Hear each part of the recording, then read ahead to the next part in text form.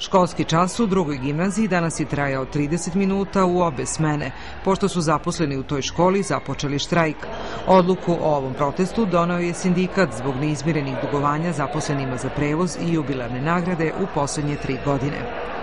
E, problem isplate novca za prevoz po osnovu tužbi od e, decembra 2007. do, 2000, do decembra 2010. godine, zatim neisplaćene jubilarne nagrade 2000, za 2009. 10. i 11. godinu i neisplaćeni prevoz od januara 2011. do avgusta 2012. godine.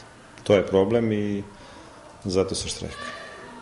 60 zaposlenih u drugoj gimnaziji podnelo je tužbe za dugovanja, a zbog presuda koje stižu na naplatu, račun škole je više od 8 meseci u blokadi.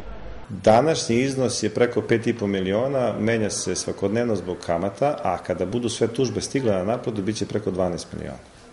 Upućen je poziv lokalnoj samupravi da se postigne dogovor o deblokadi računa i dinamici isplate dugovanja za prevoz i jubilarne nagrade.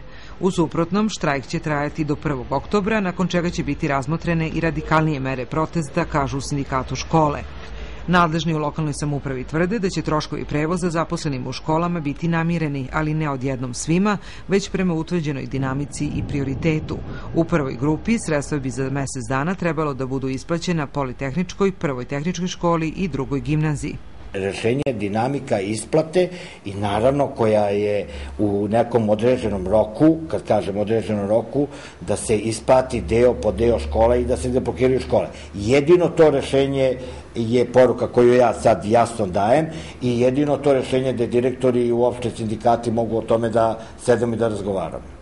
Zbog presuda za dug za prevoz i jubilarne nagrade koje su stigle na naplatu, polovina od ukupnog broja osnovnih i srednjih škola u Kragujevcu nekoliko meseci ima blokirane račune.